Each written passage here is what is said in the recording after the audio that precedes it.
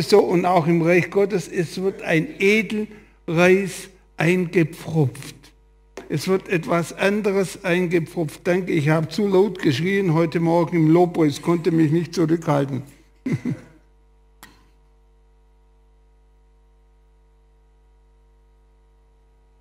Und jetzt, auch erfahrungsgemäß, wird das alte echt abgeschnitten, damit das Neue wachsen kann.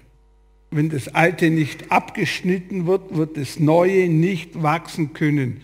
Es wird immer ganz klein und kümmerlich bleiben. Immer. Es wird vor sich hin ja, vegetieren. Aber wenn das Alte abgeschnitten ist, kann das Neue wachsen. Soweit zum letzten Mal. Und, und ich möchte, wie gesagt, weitergehen mit dem Wort Gottes.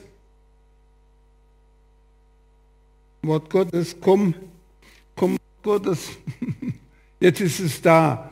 Und da heißt es, dass man einen Baum erkennen kann. Das heißt, wie man einen Baum an seinen, können wir es vielleicht darum stellen oder da wäre es vielleicht besser. Wie man einen Baum an seinen Früchten erkennt, so erkennt ihr sie an dem, was sie tun. Kann man etwa Weintrauben von Distelbüschen oder Feigen von Dornbüschen oder Feigen von Disteln pflücken? Natürlich nicht. Ein guter Baum bringt gute Früchte und ein kranker Baum schlechte. Ein guter Baum kann keine schlechten Früchte bringen, oder tragen und ein kranker Baum kann keine gute Früchte tragen. Das ist die Botschaft oder das, was Jesus sagt. Und er redet ja nicht hier von Ackerbau und Viehzucht oder sonst etwas, sondern er redet von Menschen. Jesus redet von Menschen, nicht von irgendwelchen ja, Bäumen und aber nur zum Verstehen. Und er sagt, ein guter Baum bringt gute Frucht. Und an den Früchten kann man es erkennen. Man kann an den Früchten erkennen, was in uns ist. Und Früchte kann man erkennen. Einen Baum nur an den Zweigen zu erkennen, ist schwieriger. Profis können das. Oder an den Blättern. Profis können das. Aber der, der Otto Normalverbraucher, wie auch immer, der erkennt nur die Früchte. Aber die Früchte erkennt jeder. Ob es ein Apfelbaum ist oder ein Birnenbaum, das erkennt jeder. Oder ob es Weintrauben sind oder Disteln oder was weiß ich was, Dornen. Das erkennt jeder. Deswegen ist mir wichtig, lass uns die Früchte anschauen. Lass auf die Früchte sehen und lass uns unterscheiden zwischen schlechten Früchten oder Früchten, die nicht aus Gott kommen und Früchten, die aus Gott kommen. Und es gibt ein wunderbares Wort und früher haben viele so, so ein Fliese an der Wand hängen gehabt mit diesem Wort aus dem 2. Timotheus 1, Vers 7. Da heißt es, Gott hat uns nicht einen Geist der Verzagtheit gegeben, sondern einen Geist der Kraft und Liebe und Besonnenheit. Oder Gott hat uns nicht einen Geist der Verzagtheit gegeben. Jetzt ist die Frage, wo kommt Verzagtheit her? Aus dem alten Leben, oder? Verzagtheit kommt hier. Aber Kraft und Liebe und Besonnenheit kommt aus dem Heiligen Geist. Wo mein Leben Verzagtheit hervorbringt, oder? Aus dem alten Wesen. Das alte Wesen ist verzagt. Aber wo wir im Geist Gottes sind, ist keine Verzagtheit sondern Kraft und Liebe und Besonnenheit. Oder? Die Frucht kommt. Sagt das Wort Gottes hier ganz klar. Wo der Geist Gottes uns regiert, ist keine Verzagtheit, sondern Kraft und Liebe und Besonnenheit. So können wir sehr schnell unterscheiden, was für Früchte haben wir in unserem Leben, wenn wir schon die Triebe nicht erkennen, aber die Früchte, was treibt uns umher? Wenn uns Verzagtheit umhertreibt, ist nicht der Geist Gottes, der in uns regiert. Oder wenn uns Sorgen umhertreiben, ist nicht der Geist Gottes, der in uns wirkt. Denn der Geist Gottes bringt keine Sorgen. Er bringt in unserem Leben keine Sorgen hervor. Er bringt in unserem Leben keine Verzagtheit hervor. Er bringt in uns keinen Frust hervor und kein Ärger. Das bringt er nicht hervor. Das kommt hier aus unserem alten Wesen heraus. Oder? Oder? An den Früchten erkennt man, wer unser Leben bestimmt. Und deswegen ist mir diese Bibelstelle sehr, sehr wichtig. An den Früchten erkennt man, was sind für Früchte in deinem Leben. Nur so ein, ein Beispiel, ein Wort einfach mal zu nehmen. Jesus hat keine Probleme. Wenn wir Probleme haben, was für Früchte kommen, ist einfach zu sehen. Jesus ist der Herr über alles. Aus dem Leben raus Kraft und Liebe und Besonnenheit kommt, dann wirkt der Geist Gottes in uns. Amen.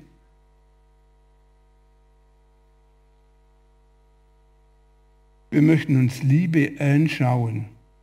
Und wir haben, im Ho wir haben ja in Galater die Früchte des Geistes auch und im Korintherbrief haben wir Liebe, wo sie beschrieben ist.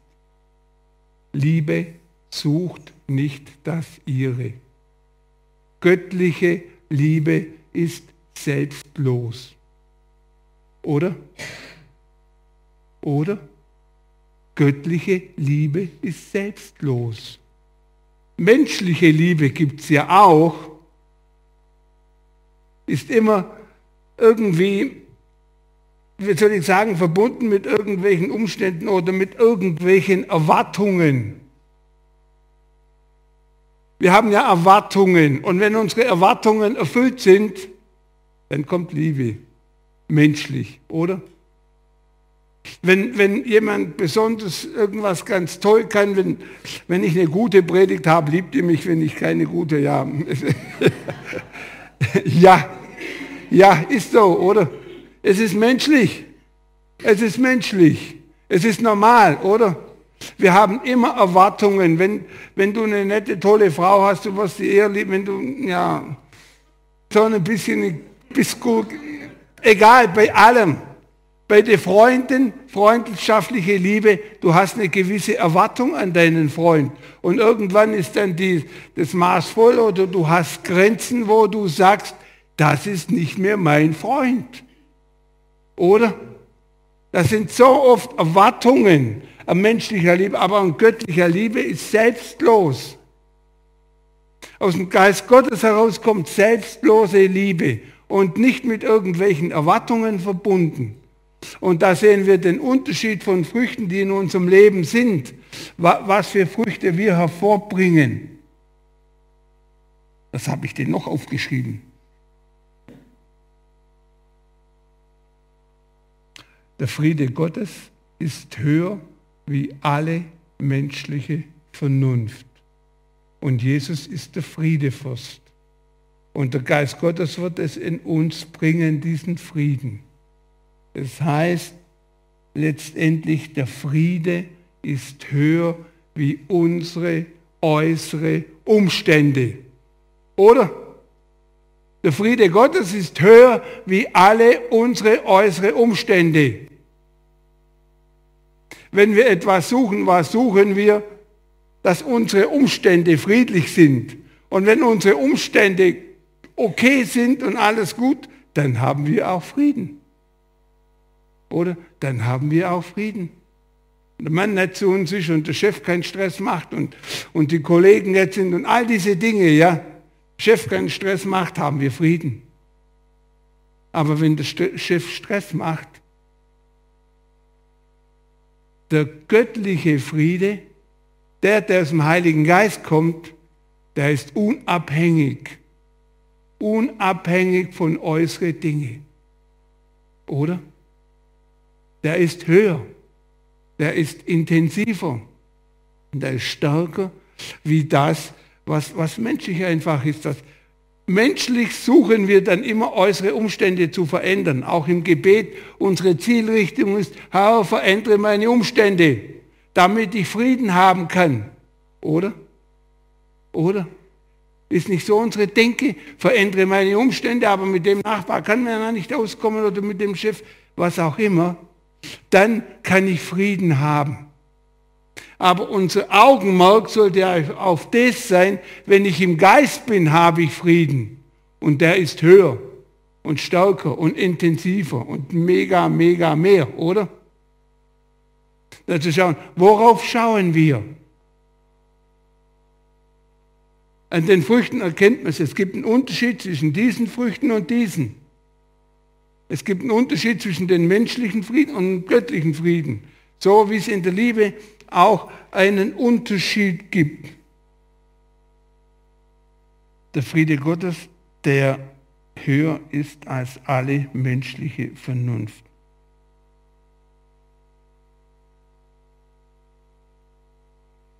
Okay, Wohin geht unsere Zielrichtung? Wohin streben wir? Unsere Herzen und unsere Gedanken zu bewahren. Er, er bewahrt uns, sagt das Wort Gottes. Der Friede Gottes bewahrt uns vor diesem. Es ist immer so, bei den Bäumen ist es natürlich so, wenn man hier abschneidet, kommt, der Baum hat immer Kraft und Saft und es ist immer Bewegung. Und wenn hier alles abgeschnitten ist, dann geht es automatisch hier rein, die Kraft. Aber wenn hier, hier, wie gesagt, nicht abgeschnitten ist und wenn hier die Dinge nicht abgeschnitten sind, dann wird es einfach auch der Saft, die Kraft, die Zeit, was wir investieren, auch dort hineingehen. Der Heilige Geist macht die Werke Jesu groß, steht in der Bibel. Das ist noch, man könnte viele Dinge dazu sagen, aber der Heilige Geist macht die Werke Jesu groß. Am Pfingsten ist der Heilige Geist ausgegossen worden und alle haben Gott äh, in Zungen gebetet. Und was haben sie gemacht? Die Werke Jesu groß, gerühmt und gelobt. Bei den Menschen ist es oft so, so ein bisschen Eigenlob, oder? Ja, wir haben und wir und, und so und das haben wir und das habe ich gemacht und, und, und. Da geht es immer um einen selber, oder? Ja, und wir müssen und wir haben so ein bisschen religiös hier.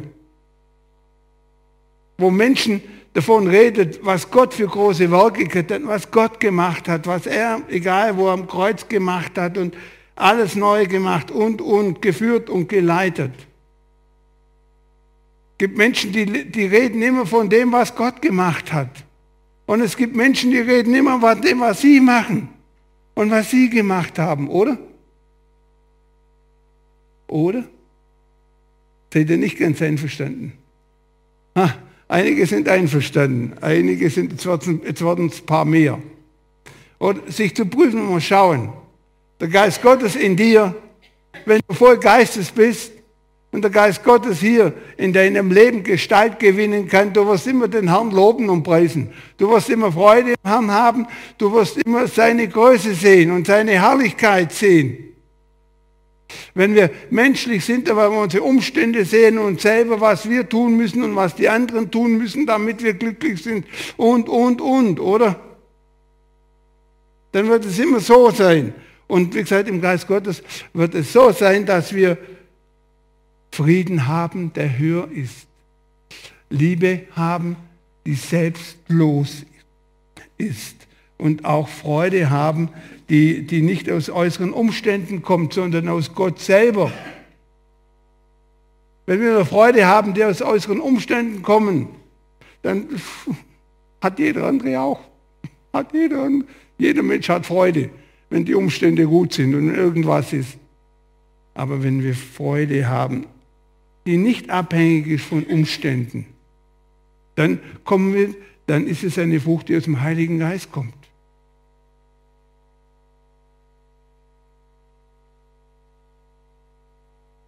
Ich mag nicht gerne geprüft werden. Aber der Herr prüft uns. Mit Sicherheit wird der Herr uns prüfen. Ich mag es nicht so gern. Ich mag keine Prüfung. Aber der Herr wird uns prüfen. Es ist der, der Herr weiß es. Er kennt die Zweige schon.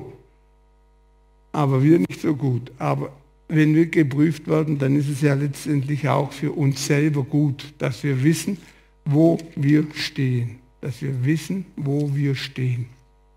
Woraus wir leben.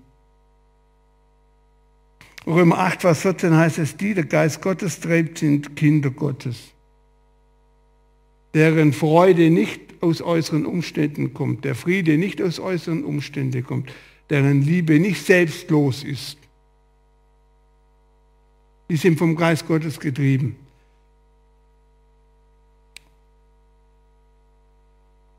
Ich habe noch was. Dann haben wir im Galater 5, Vers 25, und das, das, das habe ich noch, das lesen wir. Durch den Geist Gottes haben wir neues Leben. Wir haben nur ein neues Leben, wenn der Geist Gottes in uns wohnt. Und ich habe es letztes Mal gesagt, jeder Christ hat, ein, ein, hat einen Heiligen Geist, wenn er ihn angenommen hat. Durch den Gottesgeist haben wir neues Leben. Darum wollen wir uns jetzt ganz von ihm bestimmen lassen. Scheinbar ist es nicht selbstverständlich, oder? Wenn wir neues Leben vom Geist haben, lass dich ganz vom Heiligen Geist bestimmen. Wir haben die Früchte angeschaut. Ein paar davon, es gibt viel mehr, aber ein paar davon, die wir heute Morgen einfach wichtig sind, lass dich ganz vom Heiligen Geist bestimmen. Und dein Trachten nach dem Frieden zu suchen, der höher ist wie die menschliche Vernunft und nicht aus menschlicher Vernunft leben und nach einer Liebe, die selbstlos ist und, wie gesagt, nach einem Frieden, der einfach aus Gott kommt lass dich dann auch vom Geist Gottes bestimmen oder leiten. Und Paulus sagt etwas. Er stobt täglich. Nicht menschlich, sondern das alte menschliche Wesen. Hier sind diese Wildtriebe, die herausgekommen sind, die bei uns auch immer wieder kommen. Meine Sorgen und mein Unfriede, in der Baumschule sagt man dazu Räubern. Da hat man ein Messer. Ich habe es vergessen mitzunehmen. Aber was macht man im Baumschule? Man schneidet hier ab. Und man schneidet hier alles ab. Alles ab.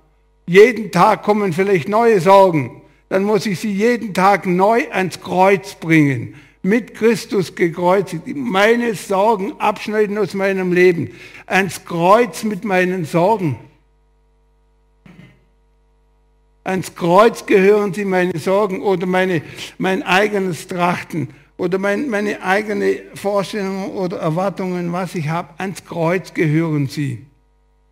Ans Kreuz nageln, wo ich selber, wo ich, ja, es gibt so viele Dinge in unserem Wesen, an, ans Kreuz mit meinem Ärger, ans Kreuz mit meiner Verzagtheit, ans Kreuz mit meinem Unfrieden ans Kreuz mit meiner Liebe, die immer abhängig ist von äußeren Dingen, von den anderen.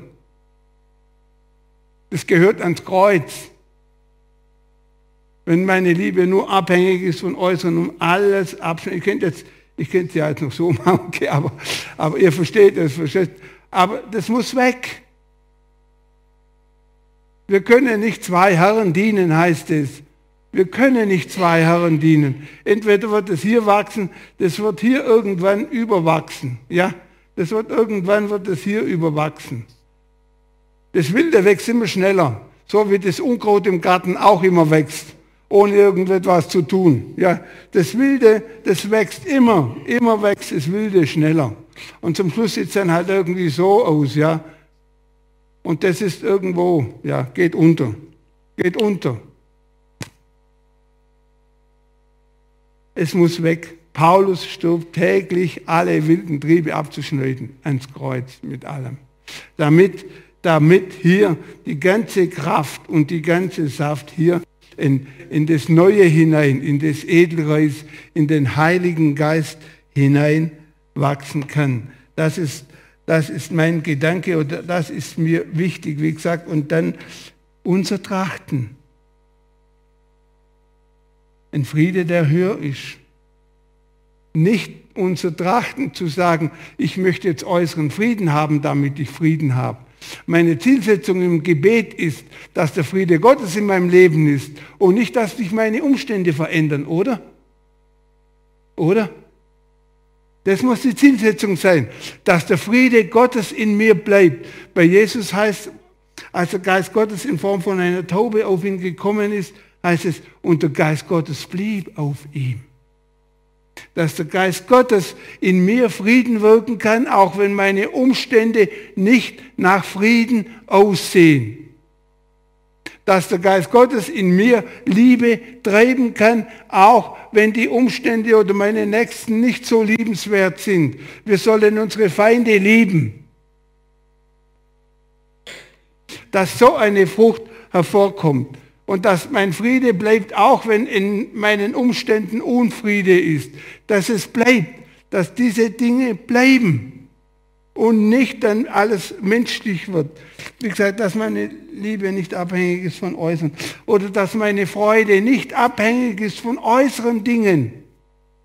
Hat die Welt auch. Die Welt hat auch Freude an äußeren Dingen. Es soll ein Unterschied sein von denen, die veredelt sind wir sollen Freude haben aus Christus heraus und nicht aus äußeren Umständen heraus. Das ist so mein Gedanke für Heiliger Geist heute. Amen. ja, was? Hab noch was aufgeschrieben. Es ist mega, mega göttlich im Geist Gottes zu leben. Es ist, gibt nichts Schöneres auf dieser Welt, wie im Geist Gottes zu leben, oder? Mega, mega ist es im Herrn zu leben. Es ist die Vollkommenheit, die wir, ja, was die Welt nicht geben kann, was die Welt nie geben kann. Jetzt bin ich, jetzt, jetzt bin ich.